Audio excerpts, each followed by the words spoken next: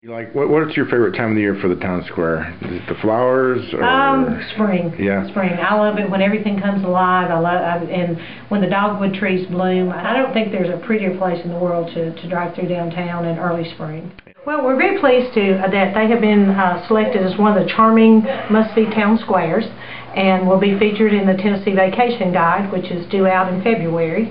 And um, so um, we're real excited about that. Uh, we have a, um, a lady here in town, Sandy Otto, who does a wonderful job of keeping those uh, for the different seasons and works really hard to keep the downtown beautiful. And so I guess we kind of got to give her uh, a lot of the credit for that. But uh, um, and you know, it, we do have one of the most beautiful town squares. We've got the four squares that that has the grassy area plus the the additional planting that gets goes in there. So so we're really pleased that we got chosen as that and uh, just another draw to get people to come to our community.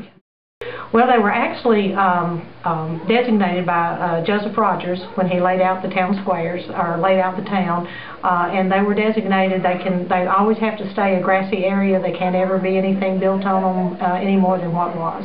So, um, and that was when he actually um, I think he was an engineer, if I'm not mistaken, or a surveyor, and he laid out the squares and, and made a designation that they always had to stay that way.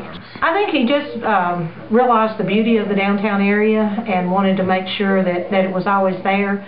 They did a lot of selling and trading then, so they needed that space. Um, sometimes they even, um, you know, it was fenced in there for a while, and uh, they even uh, did some cattle sales and stuff in there. So so uh, just a, a space that could be used by the citizens of the community. The biggest thing has just been featured in the vacation guide. There's a Uh-huh. hundred thousand of those uh, or more put out, and they Mhm. go.